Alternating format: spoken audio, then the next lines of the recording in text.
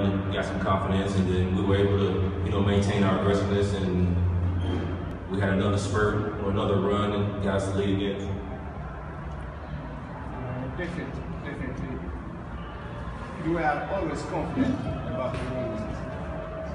Yes, I am. Uh, we have a good team, good coach that you know puts a lot of confidence in the whole team, and uh, you know the way we play.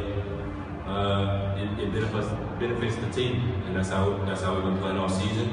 And uh, you know, we knew coming into the game that if we was able to run, uh, we'd, we'd have a good chance to win the game.